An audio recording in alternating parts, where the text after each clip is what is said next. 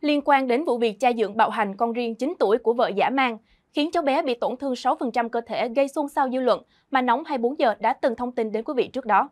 Đến ngày 19 tháng 3, cơ quan cảnh sát điều tra công an thành phố Đồng Xoài, tỉnh Bình Phước đã ra quyết định khởi tố vụ án, khởi tố bị can, bắt tạm giam đối với Lê Đức Thắng, 42 tuổi, để điều tra về tội hành hạ người khác.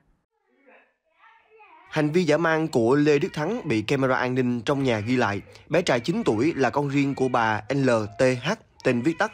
Bé nằm dưới sàn nhà và bị Thắng liên tục đá, tác vào đầu, vào bụng, đá vào mặt, sau đó kéo Lê trên sàn nhà và tiếp tục đánh. Tại cơ quan công an, Lê Đức Thắng khai nhận ông có với bà H hai người con chung, còn bé trai 9 tuổi là con riêng của bà H.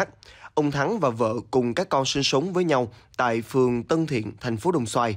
Vào khoảng 18 giờ 40 phút ngày 8 tháng 3, khi người vợ không có ở nhà, ông Thắng cho rằng bé trai nghịch ngợm, nói không nghe nên đã dùng tay, chân đánh liên tục vào người và đầu nạn nhân gây thương tích.